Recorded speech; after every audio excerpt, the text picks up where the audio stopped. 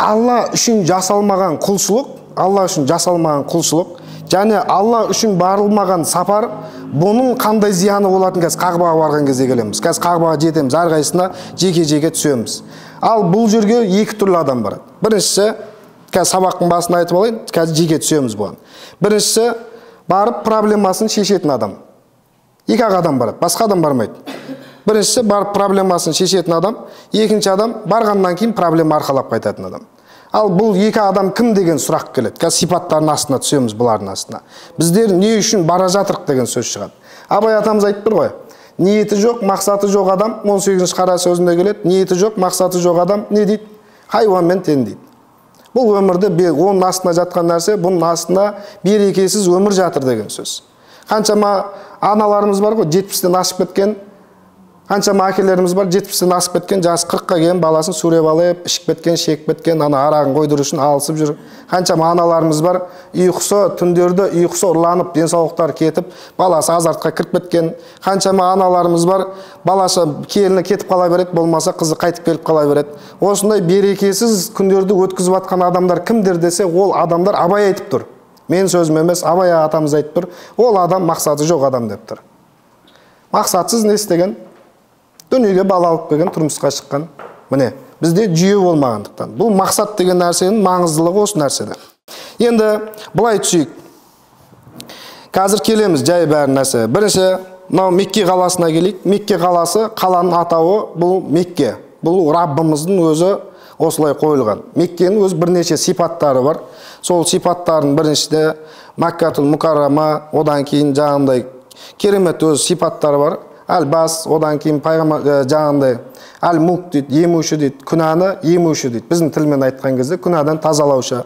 Және бұл қаладан шығарып жіберуші деген сияқты өз сипаттары бар бұл жерде. Қазір әрқайсысына жеке жеке түсеміз. Бірінші мекке қаласынан бастайық. Болмаса мәдина қаласынан бастайық. Бірінші ең жеңілі мәдина қаласынан бастайықшы. Мәдина қаласына барамыз. Қандай группа қай жақпен барса да мәдина қаласында үш күн болады. Мәдина бұл қандай қала? Бұл пайғамбарымыз саллаллаху алейхи уассаламның соңғы он жыл өмірін өткізген және сол қалада дүние салған бұл. Мәдинатул мұнауара яғни нұрланған қала деген атқа ие болған қала. Енді бұл қалада не нәрсе бар? Бұл нәрсе бұл қалада пайғамбарымыз саллаллаху сөзі бар. Бұл қала жүректердің тыныштығын тыныштық беретін жер ертең барған кезде көресіздер бір ағайындар болады ғой бір. Айтады ғой е мынау ауру ма? Немене бәле апта сайын жаңағы ай сайын кете береді ай сайын бара береді. Бір адамдар бар жеті рет сегіз рет барған. Бір адамдар бар тоғыз рет он рет барған. Не үшін деген нәрсе адамның жүрегінде тыныштық табылған үшін барады ол жерге. Түсіндіңіз ба енді осы жерден бір қояйық та былай түсіндіріп берейінші жүректе тыныштық деген нәрсені. Бір адамдар болады ғой ішетін шегетін болмаса бір жаңағындай азартқа кіріп кеткен.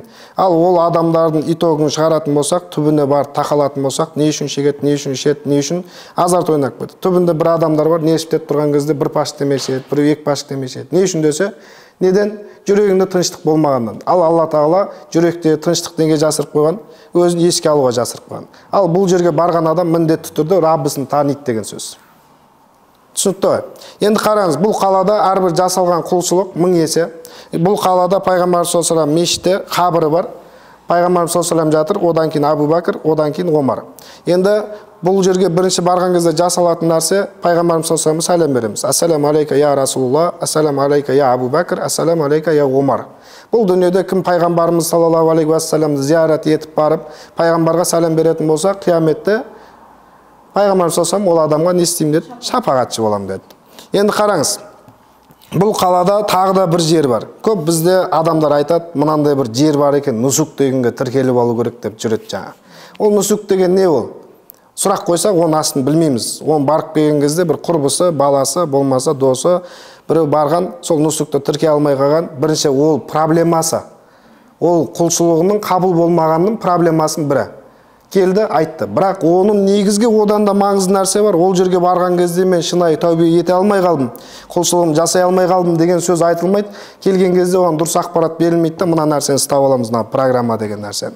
Енді қараңыз бұл программа не үшін керек? Пайғамбар саллаллаху айтады мен қабірім мен мінбәрім ортасында бір жер бар. Ол жер рауда деп аталады.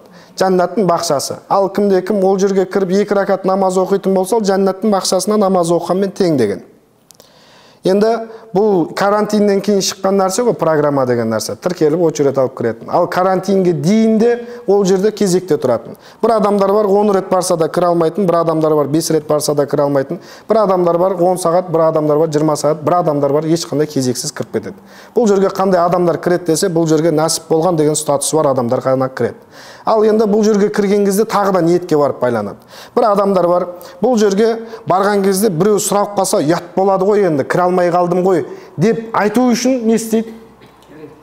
Кіреді. Ал бір адамдар бар енді ол рауда деген жер мынандай жер ғой. Мына пайғамбар саллаллаху қабірі болса мына мешіт екі, екі мінбар осы екеуінің ортасында тұрған жер. Бұрын пайғамбар саллаллаху заманында уақытында бұл кішкентай ғана мешіттің орны болған. Бұл жерде пайғамбар және оның сахабалары осы жерде не істеген? Намаз оқыған.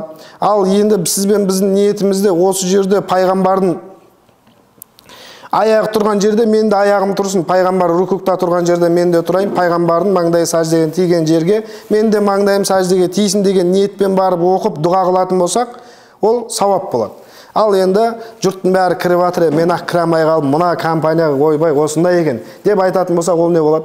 Алла серік қосып болып кетеді осы жерден бастап. Не үшін? Себебі бұл жерге нәсіп болған адам ғана кіреді.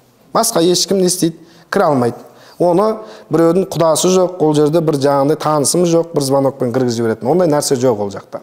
Тек қана құдайдан сұраймыз раббымыздан сұраймыз дұға қыламыз кіреміз. Болды.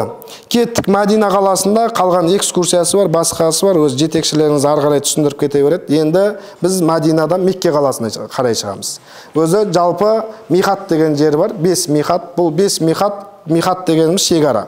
Мекке қаласына кіретін нелер? Белгілі жерлер. Ал мәдина қаласын шыға, мәдина қаласына шығатын адамдар үшін зүлхулайфа деген михат бар. Ол михат. Сол жерге барамыз екі рәкат намаз оқимыз. Ер кісілер ихрамды қонақ үйден киіп шығады. Ихрамның ішінде іш киім майка носки сияқты заттар болмайды. Ер кісілерде. Аяғында басы арты ашық аяқ киім болады. Енді ары қарай оның шарттарын айтамыз. Әйел кісілердің басына орамалы үстіне ұзын көйлегі аяққа носки аяқ киім киюге рұқсат береді әйел кісілерге. Сонымен ниеттеніп жақсылап ғұсылымызды аламыз дәретімізді аламыз не істейміз? Шығамыз. Шығып барамыз да зүлхулайфаға барып екі рәкат намаз оқимыз. Екі рәкат намаз оқимыз да не істейміз? Раббымыздан сұраймыз. Өзіміздің тілде раббым сенің разылығың үшін умра жасауға ниет еттім. Деп айтасыз болды сол уақыттан бастап төрт шарт дедік қой жаңа шашты алып шыққанша төрт шарт сол төрт шартты орындап біткенше орындап біткенімізше сіз бен бізде істеуге болмайтын нәрселер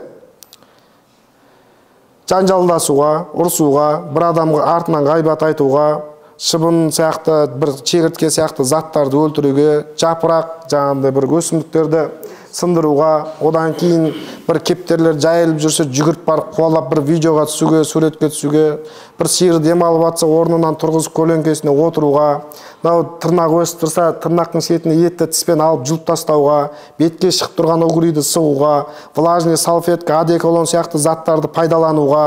Енді ана бір кісілер бар ғой жаңағы не дейтін еді ана ұнды? Бетке қандай? Пудра. Пудра. Ихрам кезінде пудра жағуға. Одан кейін жаңа тырнақ алуға шаш түсетіндей қасуға денеде із қалатындай тырнауға болмайды. Қашанға дейін төртінші шарт умрадан шығып болғанға дейін. Енді қараңыз сабын шампунь сияқты заттарды пайдаланбайсыздар. Оған дейін болады және умраның шарттарынан кейін болады. Сонымен мекке қаласына қарай жолға шығамыз. Мекке қаласына барамыз. Мекке қаласына жеткенше не істейміз? Тәлбе айтып барамыз. Ләббайк аллахума ләббайк ләббайк ла шарика ләббайк иннал хамда вәл мүлк шарика ләк деп не істейміз? Мекке қаласына дейін барамыз. Енді осы жерде бір үтірі қояйық та ары қарай түсіндіріп кетейін. Бірінші шартын ғана айттым. Ары қарай шарттарын жеке жеке түсе береміз. Енді сіз бен біз қазір біздердің ішімізде тұрған бір жалындар бар ғой жаңағы әсіресе он бірінде ұшатын кісілерді. Енді қараңызшы. Мынандай нәрсе бар да сіз бен бізді дәл қазір ауыз ашарға бір жақсы бір араласатын бір туған туысқанымыз бай бақуатты тұратын бір туған туысқанымыз шақырды қонаққа. Ауыз ашар емес жалпы үйіне қонаққа шақырды. Дұрыс па? Әсіресе әйел кісілерде қолымызға кемі бір метр матамызды алып барамыз. Құр қол бармайсыздар қонаққа шақырған жерге. И одан кейін ол нормальный шақырғаннан кейін жақсы киімімізді киіп кішкене әңгімелерімізді фильтровать етіп барамыз. Ал сол жерге бардық қой. Ал енді ол үйге барғаннан кейін сіз бен біз ол үйге барғаннан кейін отырсақ кухняда жүрген келінге тиіссек қазан басында жүрген күйеу балаға болмаса балаға тиісе беретін болса келесіде сізді шақыра ма шақырмай ма? Шақырмай ғой е қойшы соны деген әңгіме болады ғой. Ал сізбен біз бірінші мына жерде мысал сізбен бізде бірінші бір құда құдағидың үйіне дайындықпен барып кемі қолымызға бір метр матамызды алып алғанымыз сияқты қонаққа бара жатырық қой. Құдайдың үйіне бара жатырық. Сізбен біз не істемедік? Раббымызға арнаған бір дұғамыз жоқ. Бір дұға білсек қасына бір дұға қосуымыз керек бір сүре білсек қасына бір сүре қосуымыз керек. Біздің бір метр матамыз сол сыйлығымыз сол негіз. Ал бізде ондай дайындық болмай қалды. Бізде барғаннан кейін не болып қалады? Болмай қалады ол нәрсе. Енді қараңыз кетті ғой. Сізбен біз қараңызшы ниет деген нәрсе қазір сізбен біз он біріне ұшып кеткеннен кейін барып құлшылығымыз басталмайды. Сіз қанша күн алдын қанша ай алдын білдіңіз осы жерге шығатыныңызды бір ай алдын 15 күн алдын. Сіз сол уақыттан бастап құлшылықтың ішінде жүрген адамсыз. Бізде ана бір мысал бар ғой естімеген адам жоқ шығар. Бір құмырсқа меккеге кетіп бара жатып жолда өліп қалыпты да жәннатқа кіріп кетті дейді ғой. Қажының жасағандай сауап алыпты. Не үшін десе оның ниетінде дейді да меккеге барып құлшылық жасаймын деген. Ал енді қазір біз ұшамын дегенше 10 күн 15 күн уақытымыз бар. Соған дейін сізбен біз дүниеден өтіп кететін болсақ раббымыз ниетіміз үшін сол қағбаға барып құлшылық жасады деп не істейді? Сауап жазып береді.